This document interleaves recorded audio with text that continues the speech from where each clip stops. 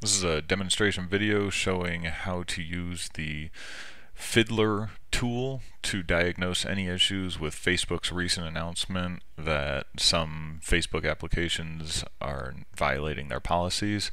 This will give you an overview of how a page can fail their tests and what you should look for using this tool to test your own page. First, we'll start the Fiddler debugging tool. Uh, I'm going to remove everything and I'm going to use their demonstration application on how the process should work because in that process you can see where it will fail. So I'm simply going to go over here. I have never approved this application before, so when I click log in with Facebook, it's going to bring me here. I'm going to log in. And when I log in, it asks for my permissions, and you'll see in the background here everything is being recorded and now I'm actually logged in properly and the final URL looks like this and external content is being loaded here which is this YouTube video. Now what we want to look for in Fiddler is specifically you'll see that when we are returned to their page you'll see in the URL itself is this session equals and session key. This key is the value which can be intercepted by third parties and causes Facebook great pains.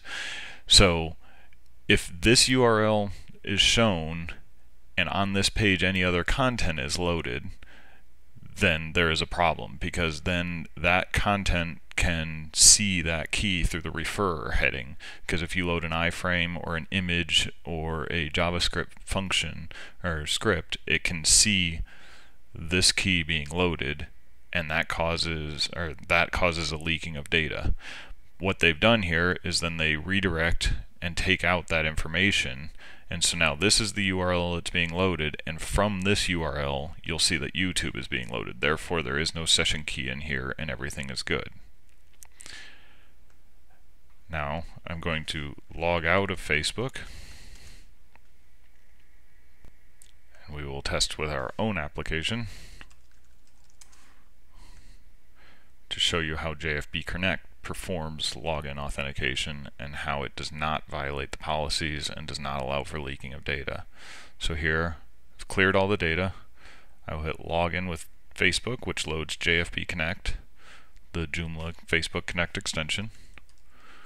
I'm going to log in here. It's asking for my permissions. I allow it. Of course up here you will see that there is no session key in there. And actually in the whole process here you'll see that there are no URLs which actually use the session key. While we are loading external content from Google and Woopra, you will see that the loading page has no session key in it. The loading page is actually this one right here because this this login page actually performed a redirect here and then this page is loading our external content. So this should give you the confidence to know that JFB Connect is not violating the Facebook policies and that it is not leaking any user information to third parties. Hopefully this will help you diagnose your own application should you not be using JFB Connect and if you are using Joomla we recommend you use JFB Connect. Thank you.